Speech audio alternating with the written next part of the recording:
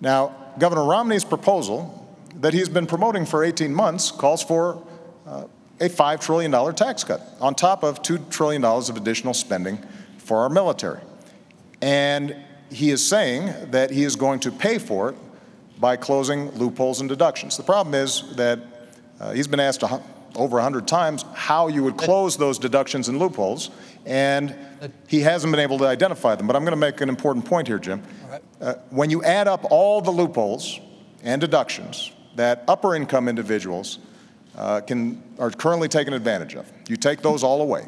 You don't come close to paying for $5 trillion in tax cuts and $2 trillion in additional military spending.